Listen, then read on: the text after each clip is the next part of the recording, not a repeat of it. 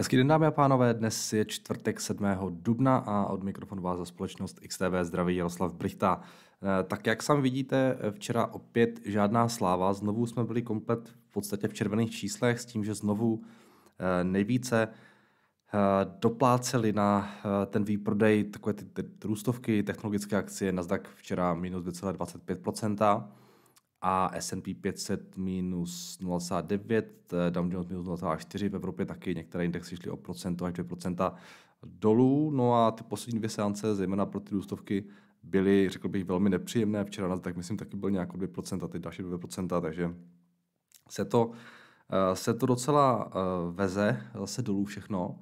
Eh, když se podíváme na třeba ten Nasdaq, tak ten nám udělal teda jako pěknou svíčku směrem dolů. Vidíme, že jsme vytvořili nějaké uh, nižší high a teď zase začínáme zase korigovat. Uvidíme, jak dlouho to uh, vydrží. Uh, s tím, že znovu se včera samozřejmě řešili, uh, nebo zdá se, že ten, ten hlavní důvod uh, byl to, o čem jsem tady mluvil včera. To znamená hlavně ty vysoké výnosy, které u těch desetiletých splatností teda zůstávají na dosah těch 2,6%. Včera trošku klesly ty výnosy, ale ne zase až tak moc. Jsme na poměrně zvýšených úrovních. No a předevčírem mluvila ta Brainardová o tom, že teda Fed začne s tím eh, snižováním eh, bilance eh, docela agresivně už od května. No a včera potom mluvili další lidi z Fedu, byl tam Harker a ještě Barkin, myslím, kteří mluvili v podobném duchu. A potom jsme se dočkali zveřejnění minutes ze zasedání americké centrální banky. Z těch vyplynulo, že existuje schoda na relativně rychlém snižování bilance, která by měla prý mohla klesat meziměsíčně až o 95 miliard dolarů, eh, s tím, že 60 miliard dolarů by měly být eh, treasuries a zbytek mortgage-backed securities. A začít by mohl hm, tenhle ten proces právě v květnu. To znamená, v podstatě nás jako ti představitelé Fedu, říct, připravovali na ty včerejší minutes, které byly zveřejněny, aby to nebyl zase tak velký šok asi. A řada členů FOMC přitom už na březnovém hlasování byla pro zvýšení sazeb o 50 bazických bodů, ale většina byla pro těch 25, takže byli přehlasováni a nakonec to zvýšili pouze o těch 25. Takže i ty minutes v podstatě eh, byl jasný signál, že to Fed myslí docela vážně, že, že, by, to, že, by, ten, že by to kvantitativní utahování, nebo jak to nazvat, mohlo teda být docela vysoké, přece 95 miliard dolarů, to je fakt hodně, eh, v porovnání s tím, na co jsme byli zvyklí u toho taperingu dříve, eh, bylo podstatně méně. No a to prostě nechutná úplně těm akciovým indexům. No, takže, takže včera se to všechno zase docela pěkně propadlo a uh, propadá se to taky v průběhu dnešního rána, když ne tak moc, ale když se podíváme na ty futures, tak Amerika zase nějaké čtyři desetinky v mínusu, Evropa taky nějakou, no tam je to trošku menší, tam jako desetinku, ale eh, ta korekce tam eh, zdá se pokračuje. No, a pojďme se podívat na to, co Amerika dělala sektorově během včerejška teda. Eh, byly tam sektory, které rostly, jako třeba utilities, real estate, healthcare nebo consumer staples, které dali více než procento. Byly tam samozřejmě sektory, které dali méně, nebo klesaly o více než 2%, communication services, technology, information technology a, a consumer discretionary, takže bylo docela pěkně rozložené s tím, že pokud se podíváme ještě na ty jednotlivé společnosti, tak nejvíce nám rostly Eli Lilly, Energy Energy, NRG Energy, uh, máme tam Exelon, máme tam Philip Morris, AbbVie, Pfizer a mezi těmi nejvíce ztrátovými Norwegian Cruise Line, National Gaming, Caesars Entertainment, Nvidia je tam taky. Tak dále. Takže tohle, uh, tohle byly ty nejvíce ztrátové. Uh, tady máme ještě tu bilanci americké centrální banky, uh, která nám teda nabopnala až na 9 bilionů dolarů. A vlastně o tomhle je celá ta řeč. Jo. Tohle je to, co teď od toho května chtějí, chtějí snižovat postupně o těch skoro 100 miliard 100 miliard měsíčně, s tím, že ono by to mohlo těch 100 miliard nabíhat ještě nějakou dobu, možná ještě nějak 3 měsíce a že to asi nebude hned 95, ale je to nějaký horní, řekněme, limit. No, co jsem chtěl ještě, tak docela nám teda se drží ten ruský rubel. Už jsme se ani dlouho nedívali, já jsem se včera díval a už jel nějakých 82 dolarech, 82 eh, rublech za, za dolar. Já jsem tomuhle tomu četl docela zajímavý článek od, od Larse Christensna na jeho blogu tady, The Market Monetarist. Pokud vás to zajímalo, tak si to přečtěte, určitě doporučuju kde on tady argumentuje tím, že ruský rubl je silný přesně uh, proto, že ty sankce fungují. A argumentuje tady tím, že vlastně, no to dává smysl, vemte si, že Rusko, Rusku strašným způsobem se zvýšila obchodní bilance, protože v podstatě skončil export, skončil import, do Ruska se nemůže v podstatě vůbec nic dovážet a Rusové pouze vyváží a vyváží samozřejmě energie. Takže do té ekonomiky teče obrovské kvantum dolarů, eura a dalších jako měn. Eh, řada z nich je potom jako vyměňována za rubly. A uh, znamená, je tam, jako, je tam v podstatě výrazná poptávka po rublech, což pomáhá k tomu, že ta měna posiluje a ale na druhou stranu samozřejmě to neznamená, že ty, že to v podstatě znamená, že ty, znamená to, to, že ty sankce fungují a je to v podstatě obrovský problém pro ruskou ekonomiku, ale v nějakém, řekněme, trošku delším horizontu. Ono se to začne propisovat trošku později. A to už tam, ne, to už tam teďka tvrdím já k tomu. Jo. A ono se to začne propisovat trošku později právě ve smyslu, že, že jo, spousta ruských firm nemá, nemůže vyrábět, e, budou muset, už, už momentálně zavírají fabriky, protože nemají prostě náhradní materiály, nemají součástky, nemají nic, Rusko si samozřejmě nevyrobí. A uh, ta krize se začne propisovat uh, podle mého názoru s nějakým odstupem a především do skrze nějakou vyšší nezaměstnanost a tak dále. No, takže tohle bude věc, kterou uvidíme postupně, ale, ale to, že, to, že ruský rubl je silný, jako neznamená, že by ty sankce byly neúčinné. Naopak právě.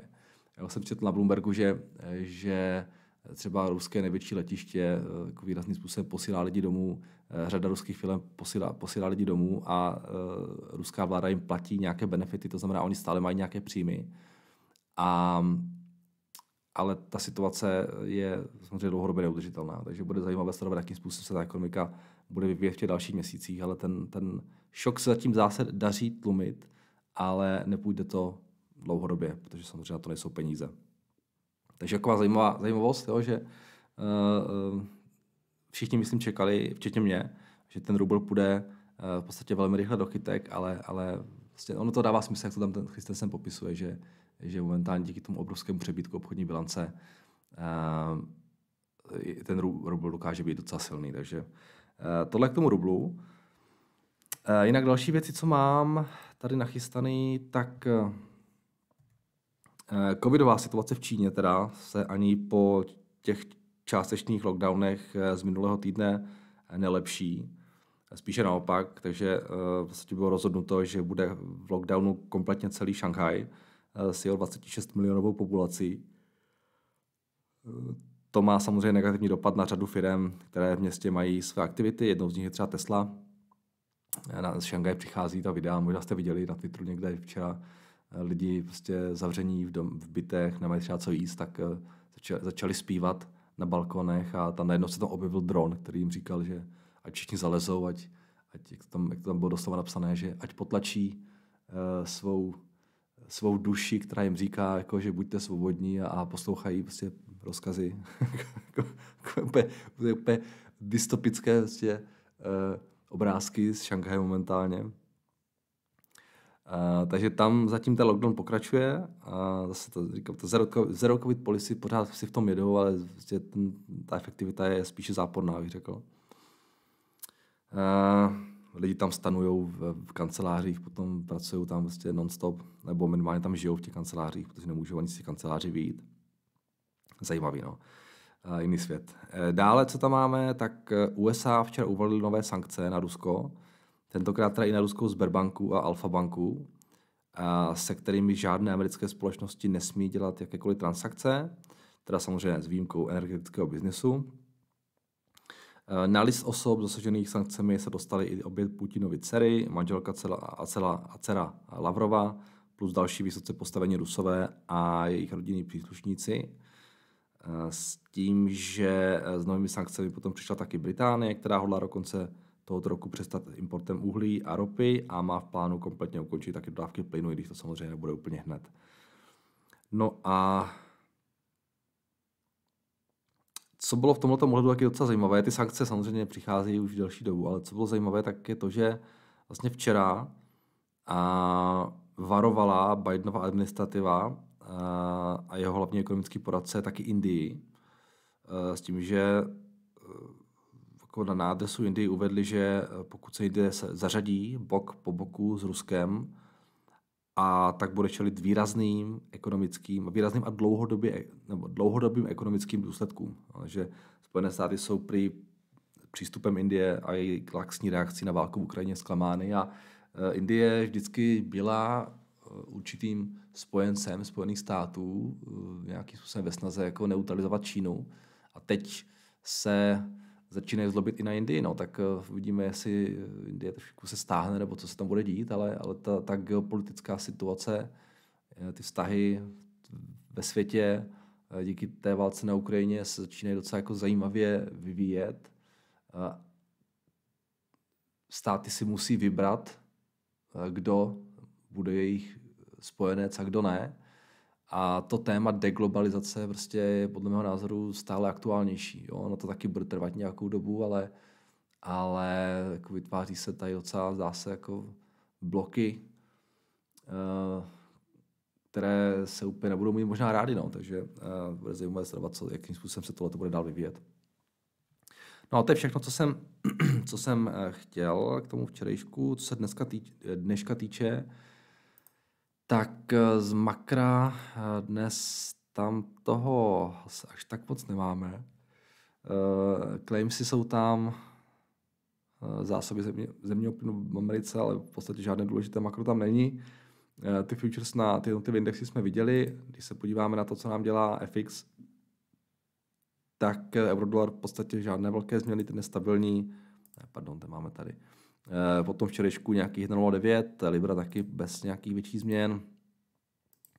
No, ten FX je docela, docela, stab, docela v pohodě. Kanadský dolar trošku slávnou na pádu s americkým dolarem. Eh, Australan teda odevzdává část těch svých dřívějších zisků. Novozélanděn také, samozřejmě tomu americkému dolaru docela pomáhá ten růst dluhopisových výnosů. Na to stříbro nic, v další dobu Ropa nám klesla na 97 dolarů. Eh, objevila se zpráva, že EIA chce pomoct Americe v rozpouštění těch eh, rezerv ropných, takže tak něco slíbili.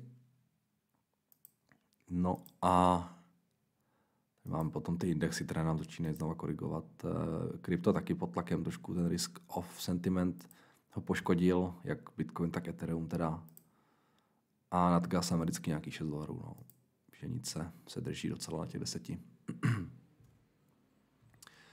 Takže to je asi všechno, co jsem k tomu eh, včerejšku chtěl. No a jdeme se podívat na vaše dotazy, které jste mi nechali pod mým včerejším videem. Tak, eh, ohledně Impost eh, doporučuji poslechnout si podcast Jak investovat s Ondřejem Klečkou, který je věnovaný právě analýze této společnosti. Jinak ve zkratce pár bodů. V loňském roce provedli akvizici společnosti Mondial Relay, Eh, která působí hlavně ve Francii a za rok 2021 tvoří čtvrtinu výnosů. Hlavní trhem je Polsko, 75% výnosů, krásný růst 38% year over year, i přes již dnes dominantní podíl na trhu. Eh, reportují ještě sekci International UK, zatímco marginální, zatím marginální výnosy ve ztrátě, ale year je 290%. Hlavní potenciál růstu je eh, určitě západní, v západní Evropě, 31.3. publikovali hospodářské výsledky, hezky rostou výnosy, zisk, marže, ale i dluh a financování nákupu Mondial Relay. A jasně. OK, děkuju. Těch lidí tady, co se na ten impost ptají, eh, je docela dost, tak asi to bude způsobené tady tím podcastem, tak až budu mít, až budu mít chvilku, jak se na to určitě eh, podíváme, no, prostě není úplně moc teďka čas. A tak jdeme dál. Dobrý den, Nardo. Včera se tu ptal někdo na dividendy přijaté od Apple, na rozdíl od dividend společnosti se sídlem včera, které v DP neuvádíme, všechny příjmy ze zahraničních dividend v hrubé výši je třeba uvést daňovém přiznání do řádku číslo 38, dílčí základaně z kapitálového majetku podle paragrafu 8 zákona. od základu daně lze posléze odečíst eh, daně zaplacené v zahraničí, jasně. Jo, děkujeme. Samozřejmě ty dividendy si musí uvádět eh, v daňovém přiznání. Tak, eh, pěkné ráno, Jardo. Uh, Rusi určili fixnou cenu zlata, uh, tak toho navázali na rubl. Uh, možná blbá otázka, ale co to bude znamenat pro samotné zlato, vďaka hezký den. Uh, pro samotné zlato pravděpodobně nic. Já jsem si nějak, já jsem nějak o tom četl, že oni to chtějí udělat proto, aby stimulovali nějak tu domácí produkci, aby prostě pořád šlapala, aby to, oni to mají, oni to mám pocit, budou vykupovat nějak tři měsíce takhle. Takže spíše je to nějak, řekl bych, signál dovnitř do té, do té domácí ekonomiky. Rusko je přece jenom docela producent zlata a, zlato se bude hodit. Takže spíše bych řekl, že to je signál směrem do, do té ekonomiky na ten globální trh, to asi jako nějaký velký dopad mi nebude. Eh, zdravím, chtěl bych se zeptat, jak fungují buybacky. Pokud firma nakoupí zpět své akcie, tak je poté drží u broukra a může je eh, tady někdy později prodat. Nebo se ty akcie nějak úplně zruší. Děkuju. Eh, může se stát obojí, většinou je to ale tak, že eh, ty akcie se ruší, stahují, přestanou existovat. A vlastně od tady tuhle tu částku potom eh, se sníží ekvita akcionářů na pasivech. Tak, krásné dobré, Jardo, už jste vrátil kartu. OK, to už tu dlouho nebylo. Dobrý den, čistě technicky pohled na graf RSA Hospitality. Rick při pohledu na měsíční graf je podle mě pěkná cena 8 až 12 dolarů. Díky za vaše rovní komentáře. 8 až 12, jo. Tak to měli price earnings nějak dva. To bych asi uh, to bral uh, to bral, to bral ve velkém, udělal z toho největší svoji pozici. Uh, samozřejmě tam je výhoda to, že když mají takhle dobře jako vymyšlenou tu strategii uh, alokace kapitálu a pokud prostě pořád budou vydělávat, tak v momentě, kdy Eh, by ta cena nějak výrazně klesla, tak oni budou dělat velké buybacky, takže eh, to by bylo moc hezký. No. Zdar Jado, ako se dá predikovat budoucí rast eh, ve strip clube, jediné, co mě napadá, je nějaké VIP předplatné vstupenky. Tak to je velmi jednoduše. Oni totiž mají strategii takovou, že ty pánské kluby nakupují. Takže vemte si, že oni mají nějak 39 nebo 40 něco takového. V Americe já jsem se díval nějaký 2000, 3000 eh, těchto těch klubů, s tím, že oni píšou někde, že cílí na nějakých 500, které by vyhovovaly jejich, jejich jako požadavkům. Takže ten růst je rozhodně kam. Jo? A ten růst právě uh, v jejich případě má být tažen akvizicemi těch jednotlivých klubů. Oni mají, v tom, oni mají tu výhodu v tom, že oni jsou v podstatě jediný hráč, který, který uh, tohle to dělá, takže pokud nějaký majitel, prostě už starší pán třeba, který to dlouho dělá, tak chce prodat ten svůj klub, tak přece jenom většina, většina jako subjektů to ne, nemá na ruce třeba, nebo jednak nechce manažovat uh, tyhle ty kluby a druhá, prostě oni jsou docela drahé, takže uh, oni jsou v podstatě takový benchmark toho, komu to můžou prodat. No, takže tak tím, tímhle tím způsobem by měli růst do budoucna. Tak zdravím, Jardo. Nedávno jste v jednom videu říkal, pokud se nepletu, že stejkujete krypto, mohl byste nám o tom říct si trochu víc? Třeba jaké, kde a kolik hodí, a kolik to hodí procent ročně? Eh, Nebojíte se o své krypto moc? Děkuju. Tak já o těch krypto věcech moc jako nemluvím tady a přece jenom tohle je hlavně pro akcie určené, určené, určené ale samozřejmě jako eh, jakýkoliv, že jo, staking je strašně populární ve světě v kryptolandu a určitě bych někomu nedoporučoval do toho dávat nějaké velké peníze. A investujte pouze tolik, kolik můžete ztratit. No, tak to dělám já.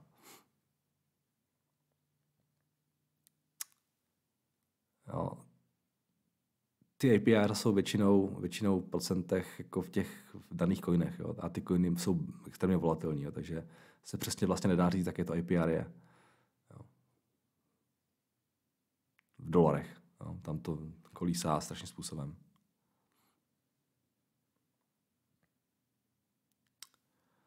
Tak. APY na APR.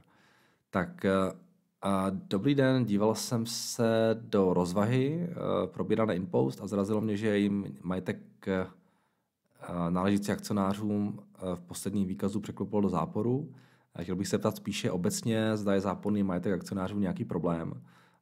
Co to případně značí? Už dříve jsem si všiml, že některé společnosti se záporným majetkem akcionářů fungují řadu let, ale mě osobně to ty věci spíše odrazuje a zajímal by mě váš názor na tuto problematiku. Děkuji. jak za případné osvětlení, tak za dlouhodobou edukační činnost, kterou děláte. Tak Martine, s okolností jsme se o tom bavili před chvilkou. Eh, často se to může stávat třeba firm, které dělají hodně buybacky. Vystřeba Boeing, už nějakou dobu operuje se zápornou ekvitou. Jo, když, když koupíte zpátky své akcie, tak uh, to musíte prostě někde v, té, v těch pasivech odečíst a právě odčítáte to v té ekvitě. Takže tohle může být jeden z těch důvodů. Uh, úplně bych nutně neřekl, že to musí být signál, že, že, že s tím biznisem je něco v nepořádku. Uh, doba, kdy se uh, řešilo hodně book value, ta už je myslím dávno pryč. Dnes dokáže spousta biznisů být jako extrémně light, co se týče nějaké kapitálové struktury. Uh, takže úplně bych to neviděl jako, jako velký problém. A vždycky bych se pídil po tom, co ten, jak ten biznis funguje a jo, o tom, po tom biznisu samotném. Takže ne, není to úplně obvyklé, ale, ale není to zase něco úplně jako strašně mimořádného, že ta ekvita může být záporná. Tak, ahoj, akcie Discovery Warner Brothers uh, už se dali obchodovat včera, ticker je VBD 2TV. Jo, už jsem se díval taky, díky za info, viděl jsem to, takže zdá se, že tady ten propad Discovery toho včerejška a no, předvčerejška a včerejška s tím může souviset. Zatím není zas tak úplně velký, Uh, pořád ještě nejsme tam, kde jsme byli, na těch 21, jsme nějaký 23, 24, takže já jsem jako pořád mimo, protože já, já ty akcie mám i za levnější ceny. A uvidíme, jestli to bude pokračovat. Ale zdá se, že, že ten, ten 4 nebo kolik procentní propad Eh, předevčírem byl tažen právě tím prodejem. Typnul bych si tady tohle spin, spinko. Eh, dobrý, Nardo, chtěl bych se zeptat, viděl jsem několikrát tvoje video v Roadcastu a ty si řekl, že když už eh, tak koupíš akcie Google a ne Tesla, že Tesla je drahá. Vůbec jsem to nepochopil, když Google stojí dvakrát víc. Můžeš to prosím vysvětlit, jak si to myslel? Moc děkuju. No, Petře, samozřejmě jako cena nominální není důležitá. Jo? Důležité je, kolik eh, je mark, tržní kapitalizace té společnosti. Nedívejte se na cenu, dívejte se na tržní kapitalizaci a tu tržní kapitalizaci si vydělte tím, co zhruba ta společnost je schopná, je schopná uh, vydělávat. Jo. A nebo si vemte cenu akcie a vydělte si to tím, kolik zhruba ta společnost je schopná vydělávat na, na akci. Jo. Nominálně ty ceny nejsou vůbec jako důležité. Jo. Google stojí eh, 2600 a má x akcí, a, a za chvilku bude stát 150 dolarů nebo nevím, 100 dolarů nebo něco takového, a, protože bude dělat spin. A, bude dělat spin a, prdlaj spin. Zase to, zase to pletu. bude dělat split. Jo, takže bude mít 20 krát víc akcí, jo, takže bude 20 krát levnější, ale to, to nic neznamená. Jo. To prostě jenom znamená, že mají víc akcí.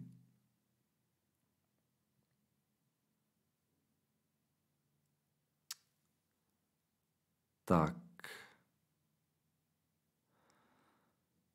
A jdeme dál. Dobré ráno, to. Vím, že jste fanda velkých, uh, velkých zkosnatělých korporátů v EU. I přesto uh, by mě zajímal váš názor na BAS, který uh, teď výrazně ztrácí. Jedná se o velkou chemičku a producenta. Vteřinku, já jsem tady něčím přemýšlím.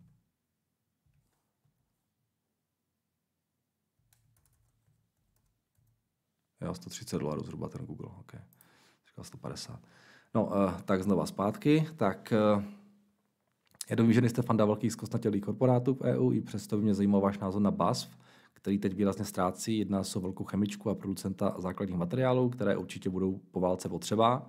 Na druhou stranu jsou jako celé Německo závislí na ruských surovinách, zejména na plynu.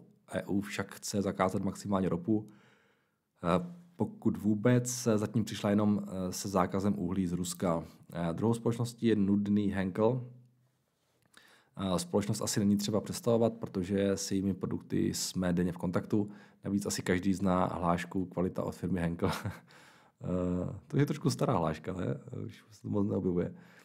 Čemu ale nerozumím je fakt, proč firma tak výrazně klesá. Dlouhodobě jde pouze dolů Eh, vzhledem k tomu, že eh, neroste, má price earnings aktuálně kolem, kolem 15, tak mi důvodem propadu přijde jen vysoká původní cena. Henkel pro tento rok opět garantoval dividendu ve slušné výši, navíc se orientují více na udržitelnost a podobně. V těchto ohledech mi přijde firma velmi dobře řízená Kontroverzní mi ale přijde jejich rozhodnutí zůstat na ruském trhu.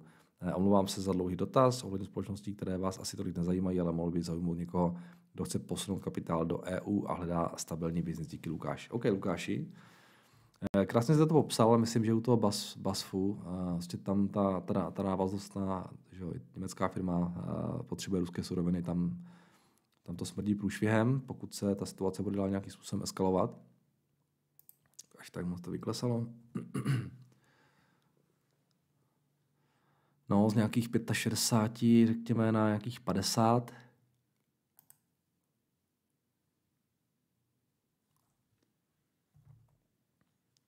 Jo, růst, roste cena základních surovin, uh, ty marže, tam možná bude nějaký tlak na ně. Uh, s tím, že jste v komoditním biznise, ten váš mou není nějak jako úplně fantastický. A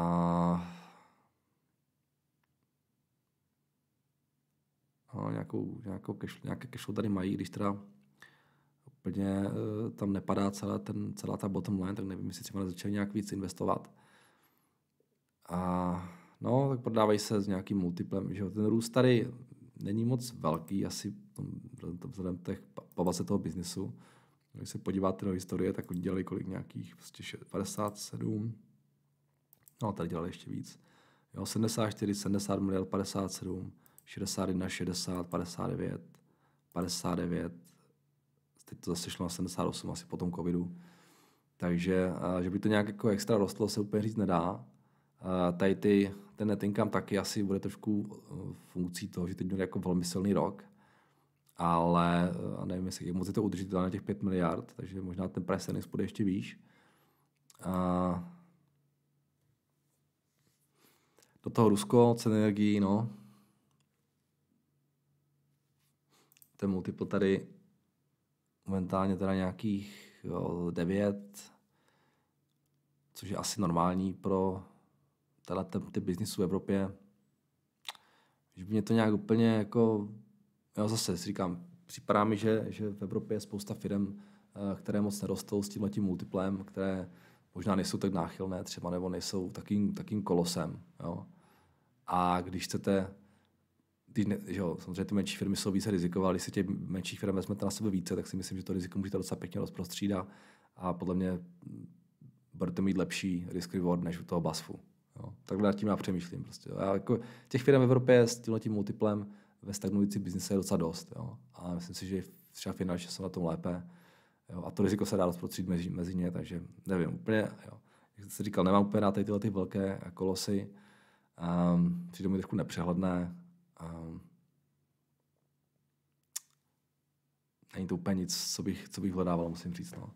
A co se týče toho Henklu, tak ukažte, co se tam děje.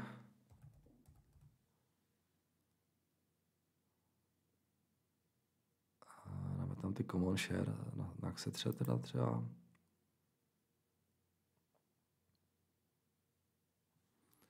Ukažte, co dělá ta akcie.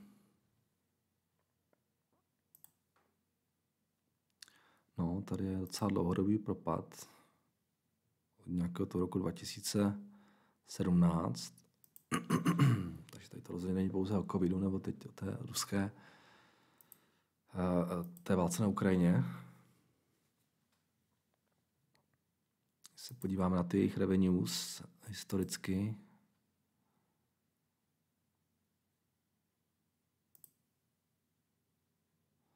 tak ty v podstatě od toho roku 2016 stagnují a přestali růst. Takže zřejmě ještě v tom roce 2016 byl za, na tu firmu nahlíženo jako na docela pěkně růstovou, což se teda zastavilo, tak proto asi eh, propad té, té value bude.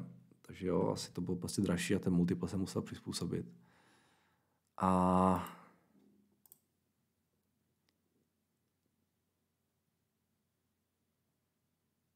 20 miliard, nějaké 2 miliardy eh, net income. Eh, cashflow tam je po 2 miliardy, zdá se. Teď to trošku samozřejmě ten covid tam zase nějak jako do toho. Ale když oni se, no, ani ne, ani ne, vlastně ten covid asi moc nezasáhl. Oni prostě pořád tak nějak se plácají kolem těch 19-20 miliard na těch, na těch revenues teda. Ale co je zajímavé, je, že jim trošku klesají možná ty, ty hrubé marže ani ne, ale, ale ten net income jim klesá. ty hrubé marže se jim daří držet na nějakých 45%. A, a více méně i ten net income, jako, jako těch 2 miliard, takže to není tak strašný. No zase, jo, další stagnující biznis a v Evropě, který jinak asi šlape, ale prostě ta, ta růstová ranvejta není vysoká. Podávají zase za nějakých těch, já nevím, ta 18, 13 price earnings. Hmm, jo. Je to, je to consumer staple, je to stabilní značka, to je samozřejmě výhoda. Oni tyhle ty firmy hold prostě mají vyšší multiple. Ale opět, jo, říkám si, jako jestli by nebylo lepší vzít více menších evropských firm a to riziko mezi rozložit a budete mít jako, podle mého názoru lepší, lepší multiple a, a možná i lepší nějakou ústavou runway. A to, takhle bych to asi dělal já, kdybych chtěl nějak jako výrazně do té Evropy, ale a říkám, já spíš jdu po nějakých jako jednotlivých kvalitních firmách a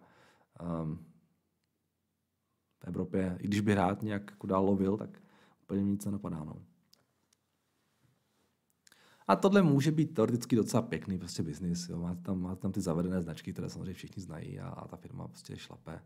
Nemají moc dluhů. Jo. Tam nevidím nějaký problém, jenom prostě mi to nepřijde jako úplně super atraktivní na těch, na těch 15 multiple. Má tam pěknou dividendu 3%, takže úplně v pohodě do nějakého portfolia uh, trošku proticyklického, jo, řekněme dividendového, jak se říká. A proč ne? Dokážu si představit jako, jako nějakou část. No, jenom to prostě není úplně to, co bych momentálně vyhledával. Tak, eh, jdeme dál. Eh, dobré ráno, rád bych se ptal, jakou váhu dle market capu v indexu Nasdaq eh, zajímá velká pětka Funk. Díky za tvorbu, a podporu a skvělé ranní komentáře. tak jako nebuďte líní, dejte si Nasdaq, weights. Tady to máte, jo, si vás. To je strašný tyhle dotazy. Vy máte přímo 12%, 10%, 7%. Nebuďte líní, použijte Google. Tak, eh, a zdravím Erdo, včera jsem vám poslal zprávu do Máš mi to dotazy, firma Bentley Systems. Jo, já jsem se díval, fakt tam byla, já to potom teda přečtu, teď vás ještě přeskočím. A musel jsem to najít v archivu, nevím proč, nebo, proč, proč mi to hodil do spamu. Nebo možná jsem to já nějak omylem tam hodil, já nevím. Mi tam občas chodí nějaké věci, které potom hážu do spamu, tak možná jsem na vás kliknul omylem. Takže já to mrknu potom. A, tak, zdravím, chtěl bych se zeptat na společnost InPost. Jo, jasně, tak to jsme tu měli. Zdravím, Jardo, sledujete nebo máte nějaký názor na první středoevropský spak od Woodson Company? Díky za reakci. Bohužel nesleduju, nemám názor, nevím, co tam mají. Ahoj, Jardo, prosím, zamysli se, které odvětví bude růst eh, po vojně, po vojně a po koroně. TSM eh, je na zajímavé ceně, děkuji za ranní komentáře. Um, úplně o těch, o těch odvětvích zase až tak moc neuvažuji. A jak jsem tady říkal už mnohokrát, já se nesnažím jako investovat na základě toho, že teďka bude nějaký prostě trend ve světové ekonomice nebo nějakého, nějakému odvětví by se mohl dařit. Já víc než to makro řeším mikro, tak začínám od těch firm jednotlivých a potom jdu nahoru. Um, takže nemám nějak jako úplně... Jo. Bavili jsme se tady o tom, o tom AI ML, což mi přijde jako zajímavý sektor, ale nemyslím si, že nutně jasně teď jako ta válka musí tomu nějak strašně pomoct. Já si myslím, že tam ta perspektiva je prostě, ten, ten, ten trend je tam dlouhodobý a, a tyhle ty věci prostě budou potřeba. Ale že bych jako měl nějaký sektor, který bych teď chtěl kvůli válce kupovat, tak to určitě nemám. Hlavně já se fakt jako nesnažím predikovat, jak to se dopadne. Nikdo z nás neví, jak to celé dopadne. Jak dlouho to bude trvat. Jo. A, jo, vlastně, to se fakt nepokouším. Tak dobrý den, prosím vás, co pověděte na akci TUI? Já jsem jich koupil ještě za 6 euro a chci vás eh, požádat o analýzu této společnosti a váš názor, či v něj vidíte budoucnost a možnost vrátění se na vyšší ceny. Opět děkujeme za názor, s pozdravem Michal. A cestovka. No, tak asi teďka je čeká nějaký, jako řekněme, lepší rok. Že jo, lidi chtějí cestovat, teď konečně už můžou zase. Takže možná ten letošek bude, nebo to letošní léto bude velmi silné pro ně. Ale zase cestovky mi to přijde jako hrozný biznis. Jo. Žádný mode. Strašně jako konkurenční. Nechtěl bych to vlastně dlouhodobě. A... Že by to tady vypadalo nějaký úžasný rok, to se úplně říct nedá. Musím říct, teda sice ty revenues tady mají růst na 15 miliard, takže to rost, ty mají růst docela hodně, ale z nějakého důvodu tady, tady v podstatě čekají, že net income bude plus minus na nule. A no, ale tak to je úspěch docela, protože do té doby dělali minus 2 miliardy, takže vlastně proč ne. A potom teda nějakých 17 miliard, 23, 400 milionů, že byl desetinásobek price earnings, vysoký dluh, a to se vůbec nelíbí. jo, před covidem děli, dělali nějakých, já nevím, 500 milionů, 600 milionů eh, s dluhem, net, net dluh měli miliardu a teď mají net dluh kolik? No, přes 5 miliard.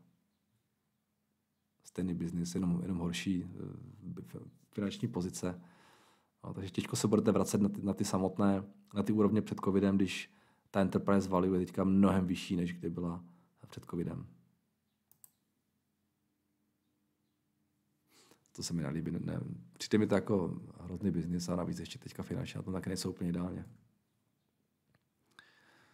Tak, jdeme dál. Jdeme dál, jdeme dál. Co máme dál? Tohle. Tak, kde jsme včera skončili? Tady bylo to RCI, tohle jsme dali. Tohle jsme tam ještě taky měli a tohle myslím taky. Jo, uh, byl tam ten dotaz na to, co jsem měl v tom spamu někde, takže vteřinku. Všechny zprávy. Jo, tady vás mám. Tak eh, zdravím Jaroslav, prvýkrát mi YouTube zmazal komentář, tak píšem sem.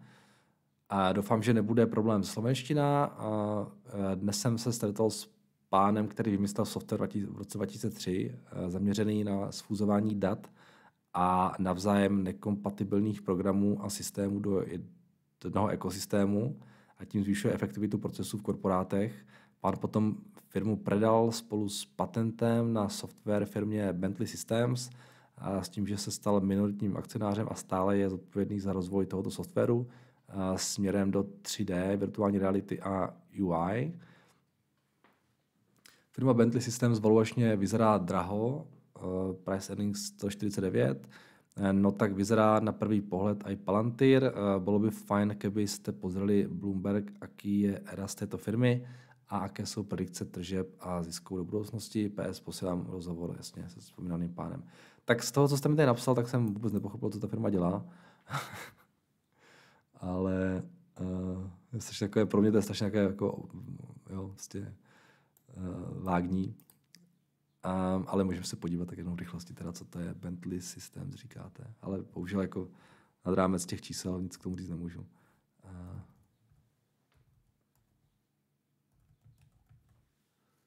Bentley Systems.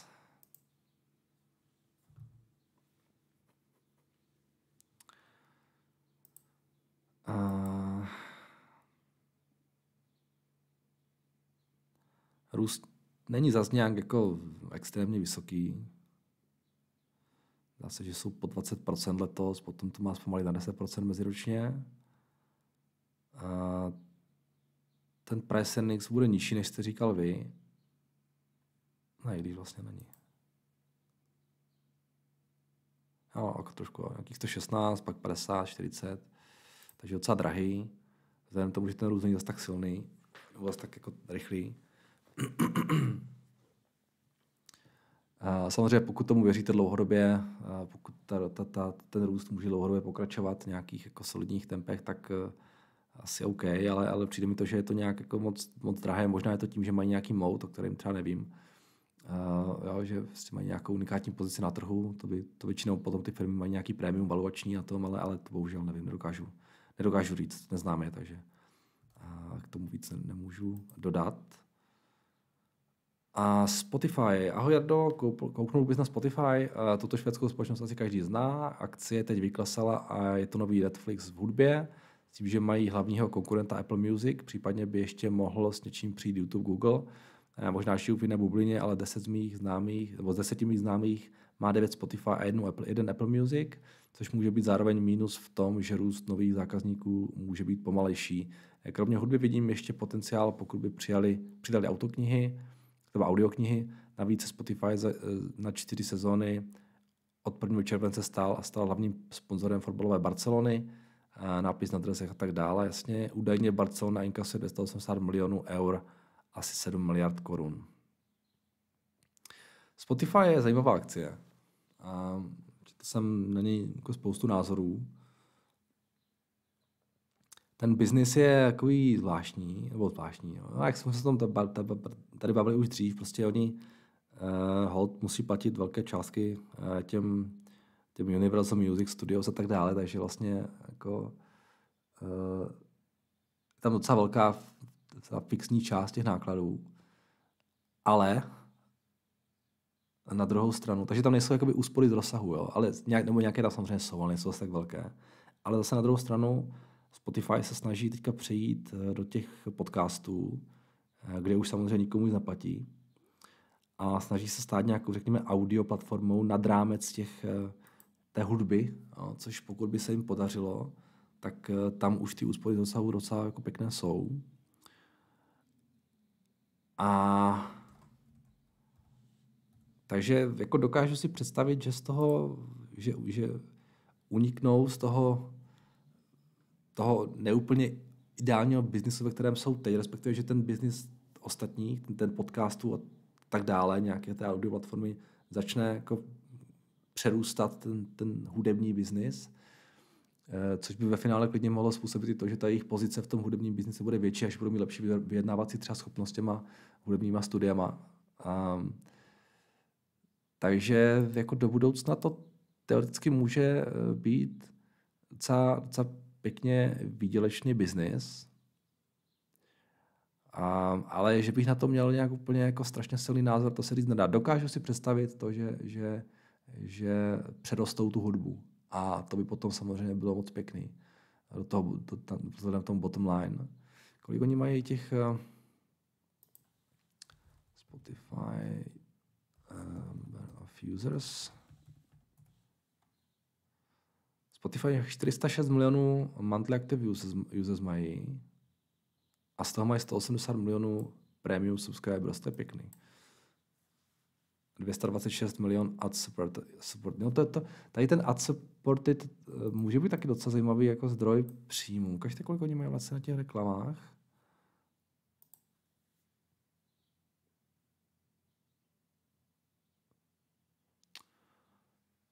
No, to jim docela zdá se jako roste.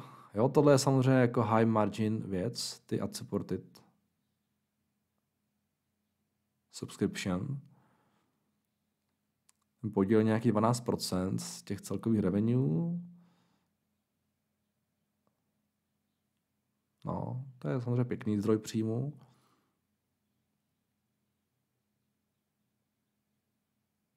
Čím více lidi poslouchají, čím víc tam lidi je, tak tím efektivnější asi ta reklama bude. Když otázkou, jak moc je efektivní tato reklama, ta, kterou máte v uších. Ale tak určitě nějaká poptávka tam, tam je. Jako jo, no, je to, je to zajímavý biznis, za kolik se to prodává. 25 miliard, tam asi taky byl nějaký jako propad, vzhledem tomu, že všechny ty růstovky byly docela byty, no, byl. Šli jsme z nějakých 350 na nějakých 150. V podstatě jsme tam, kde jsme se drželi v roce 2019, 2020 před covidem. Pak ten covidový boom v podstatě kompletně tohle umazalo. Mezitím ta společnost samozřejmě taky asi docela vydostla, ne?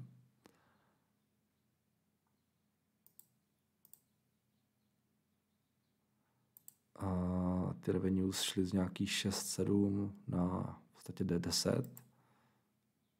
To bylo 4, 2017. Jo, moc, moc teda nevydělávají zatím, ale, ale dokážu si představit, že budou vydělávat do budoucna. A...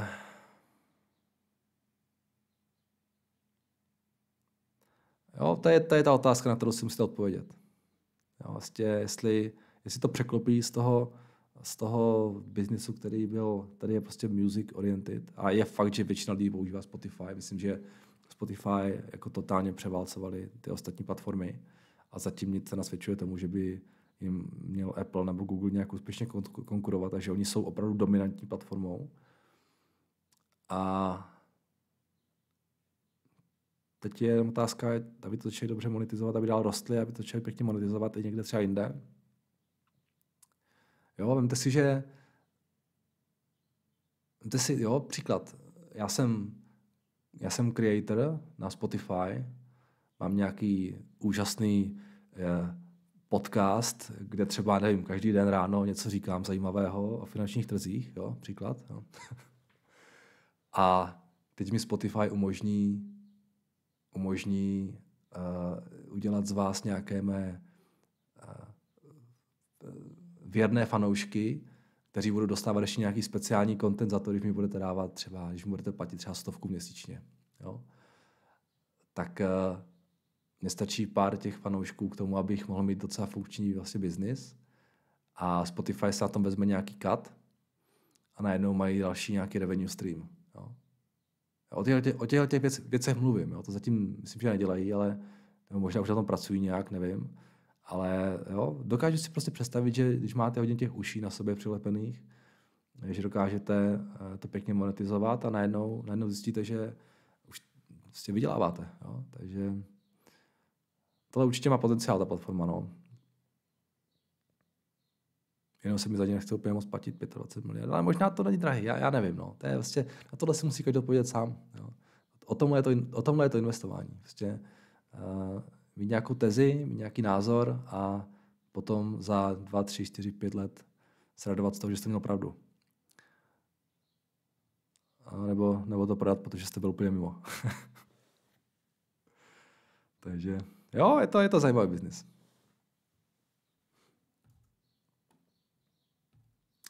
Jdeme dál.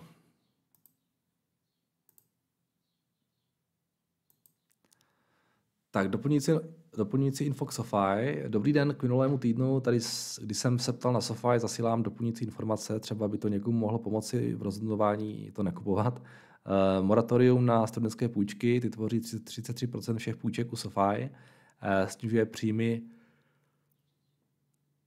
v květnice o 35 milionů a až možná o 140 milionů v případě prodloužení moratoria pokud vláda USA rozhodne o odpuštění těchto půjček, přijde SoFi o příjmy refinancování, trošku loss-loss situace. No a dnes eh, bylo toto moratorium prodlouženo minimálně do 6. srpna, a teda do srpna.